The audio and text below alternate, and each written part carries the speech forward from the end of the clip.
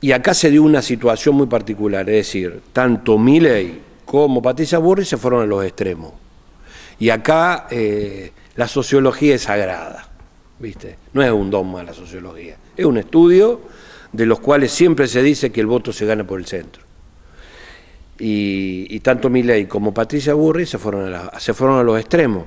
Entonces, estratégicamente, ¿qué hizo eh, Massa? Jugó al medio desde un discurso, yo no soy el gobierno, yo vengo por hacer presidente, eh, y bueno, cautivó más. Entonces los dos extremos fueron los más perdidosos. Milei, que saca los mismos votos, que no, no, no gana más votos que se suponía que iba a ganar en primera vuelta, y nosotros los más perjudicados, porque obviamente nosotros desde el planteamiento que hacíamos, desde el orden, desde, bueno, la gente se ve que no lo, no lo, no lo vio así.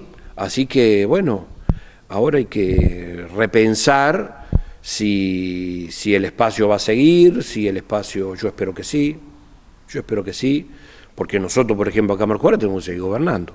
En los lugares más, digamos, en los lugares más, más, más terrenales, eh, por ahí es más fácil ponerse de acuerdo o, llegar a acuerdo. Pero a nivel nacional, vos viste, hay eh, muchos intereses, o, más yo diría más, hoy diría más que de intereses, más, más ego que, que otra cosa. Así que habrá que esperar cómo se dan las cosas cuando fue la, famosa frase, es la economía estúpido con Clinton en el yo diría el peronismo estúpido. Es decir, no hay duda que el peronismo sigue siendo la fuerza eh, más importante política del país, eh, la cual eh, tiene un raigrambre en la sociedad muy profunda, eso hay que reconocérselo, esto no, no, no, no, es en detrimento, todo lo contrario. no hay duda que la gente se siente representada por el peronismo y los que no estamos dentro del peronismo o no somos no peronismo, eh, tenemos tantas dificultades que, que, ya ni siquiera nos alcanza juntarnos todos juntos. Fíjate vos que siempre nos pedían unidad para ganar. Cuando tuvimos la unidad y tuvimos la oportunidad, teníamos prácticamente la elección ganada, nos metimos en una elección interna que lo único que hizo fue desgranarnos y ahora desconfiguró, porque ya, ya ni sé si, si podemos seguir llamándonos juntos por el cambio. Eh, es decir, creo que estamos en una crisis de identidad. Eh, hoy creo que estamos en una crisis de identidad, que eso es lo más difícil de las alianzas electorales. ¿Qué va a pasar con el radicalismo hoy? Yo que vamos a empezar de arriba para abajo. Yo diría que eh, con cinco gobernaciones como tenemos, con mm, gobernadores radicales, y eh, una mayoría de diputados radicales y senadores radicales. Eh, creo que quedamos con, una buena fortaleza, digamos, a nivel nacional, como para que el radicalismo plantee dentro o del marco Juntos por el Cambio o una estrategia como partido, pero una estrategia a nivel nacional. Eso es lo que yo espero de lo nacional.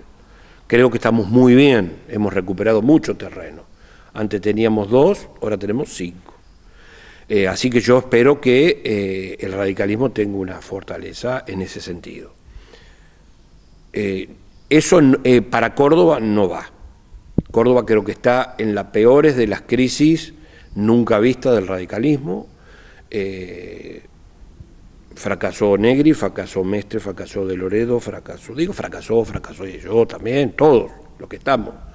el radicalismo tiene que barajar y dar de nuevo en Córdoba porque la verdad que no hemos más que tenido eh, eh, situaciones eh, muy complejas. Ahora, también digo desde el punto de vista, si vos ves el mapa de las intendencias, hemos recuperado mucho espacio territorial. Entonces creo que hay que trabajar con los intendentes y recuperar desde los intendentes. Y bajo al departamento eh, nuevamente vuelve a verse que la fortaleza del radicalismo está en el sur del departamento, con Matías Bodenovi, con el Cali Cariñano, con los intendentes que, bueno, que ahora se van a poner en marcha, así que creo que hay que tener esa fortaleza y trabajar todo el sector del norte, que es donde tenemos la mayor de las dificultades.